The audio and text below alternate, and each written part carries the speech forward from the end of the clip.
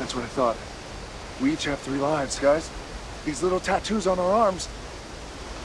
Jesus, would you look at the size of that thing? Spencer! You were saying? It's... it's our life count. Bethany got eaten by a hippo, so now she only has two lives. He's right. Wait, what happens if we use up all our lives? Well, usually that would mean... game over.